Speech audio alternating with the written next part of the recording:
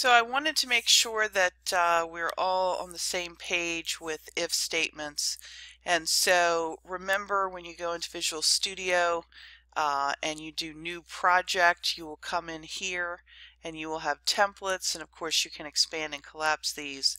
We're doing Visual Basic Windows, Windows Form Application, and we'll click OK. And so an if statement allows your code to make some very basic decisions and it can alter the code that's executed. Meaning normally the code is executed from the, the top of the code to the bottom sequentially in order one line to the next to the next. But sometimes you need only certain code to execute and it depends on some condition. So an if statement will give you the ability to say if some condition is true then do these lines of code otherwise do other lines of code.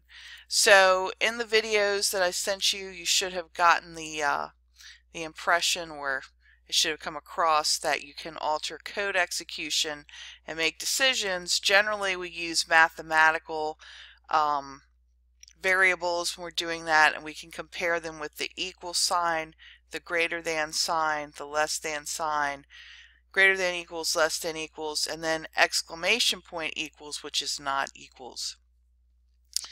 So we're going to, if this starts up shortly here, I will show you some different examples of if statements and then you can take the quiz on those. We're also going to start the nine weeks project. Uh, I'm giving you some uh, flexibility on that this time. I've had some people give me some suggestions of things they want to work on. So whatever you do is probably going to involve some if statements. And so here we have our basic form window. Over here I have my toolbox and I can expand or collapse here.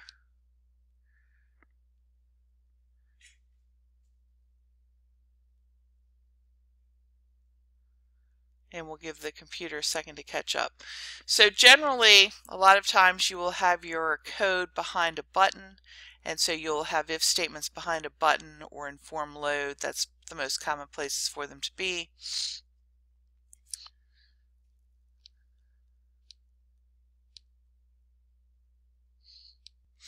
And so eventually the toolbox called up and here are all of my items. So I'm going to double click a button and that should put it on the form. You can also drag and drop. And so if I want to get to the code window, I click once on the button to focus on it. Remember the little white tabs will let you know that you are actually truly working with the button. You're focused on that. The cursor is selected that. So I'm going to double click that. And eventually my code window will open up and we can see that I am behind button 1's click event, meaning this is the code that will fire off when button 1 is clicked. Of course, you could go to the properties and change the name of button 1 and the caption and all of that. So a basic if statement well, first of all, let's start out by creating a variable. If you remember, that's just a, a, location in memory that you control. So I'm going to just give it a basic name, x. I'm going to make it an integer. I'm going to do another variable named y, make it an integer so that I have something to compare in my if statement. So I'm going to say if x equals 18 and y equals 21, now I can compare these two values and make some decisions. So I can say if x equals y, if x and y are the same number, then there's lots of things I can do. I can put out a message box x and y are equal, for example. And let's say I want to have another variable I'm going to call it sum. I'm going to start it out at 0.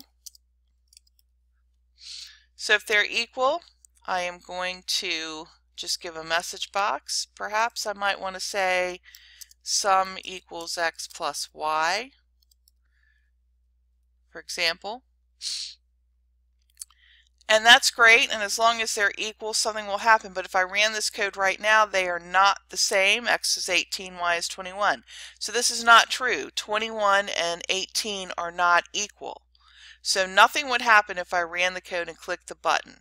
These lines of code would not execute because that condition, 18 equals 21, is not true.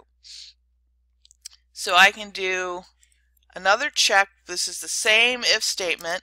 So if the first condition is not true, I can say, well, if x is greater than y, then, and remember the words in blue are keywords that you always type, then I can do another message box. x is greater than y. And maybe I just want to set my, maybe I want to just leave the, well, sum doesn't really make sense here. I was just showing you some examples there. But then I could also do else if x is less than y, then, and of course I can just change my message box a little bit.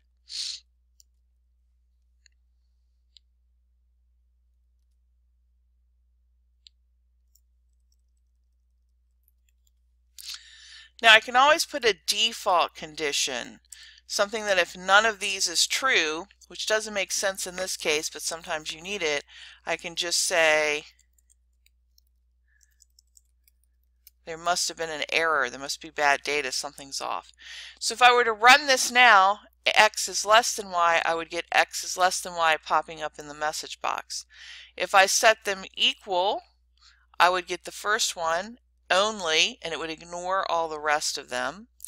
And if I made x larger than y, what happens is the compiler says, that's not true. Where's the next part of this else statement?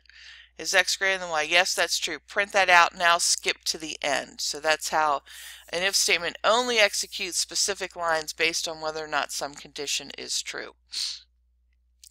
So hopefully that helps you a little bit and that will help you get through the quiz on if statements.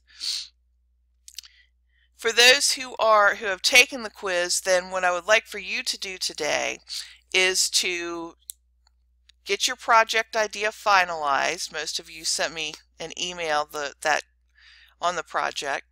So get your project idea finalized and then I need you to go out and do a little bit of research. If you're going to write uh, game of Jeopardy, then what I need you to do is sit down and think about how you're going to design the screen. What type of graphics you're going to have. Are you going to have buttons on there? Are you going to have labels that give the user feedback if their guess is their answer is correct or not? How are you going to populate the questions? Are you going to have some variables to hold those? Uh, there's, or we can do a text file that your program reads in. There's a couple of ways to do that. So if you have taken the quiz after you've watched this review, I want you to give me um, maybe in paint or something layout very roughly, it doesn't have to be exact, how you're going to have your screen look. And then I would like a little um, brainstorming session on your end with questions like if you're doing Jeopardy, how am I going to get the questions and answers set up without me typing hundreds of questions in? So that would be a question for me. Um, how am I going to alternate between player and computer? So I need questions from you, things that you need help on.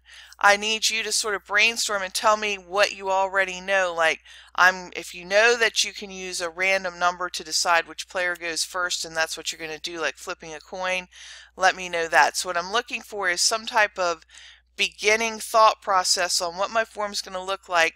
I know I'm going to do uh, keeping score with variables, for example, but how am I going to set up all my questions? So I need to see what you think you need help with, what you think you've got um, ready to go in your mind on how you're going to do things so we can kind of plan from there. And I would like to see through Paint or somehow some graphic program sort of how you envision your form being set up and you can put some little graphics in there. You can just indicate I'm going to have pictures here or something like that, um, then email that to me by the end of class today if possible.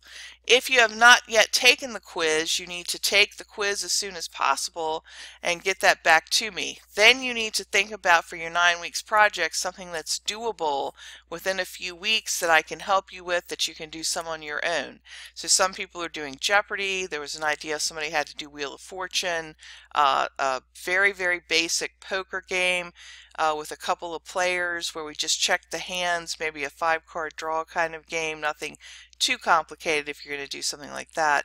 Um, I think there was somebody wanted to do Pong. So you need to come up with an idea of something that you can do and let me help you decide if it's too much or if there's a way that we can just make sure it's just the right amount of work for the time that's left. And I want to spend some more time this week. We're going to look more at if statements and probably a little bit at loops. And I want to plan on having a test on Friday on if statements, uh, variables, and potentially loops. So let's use our time wisely in class and uh, we'll go from there.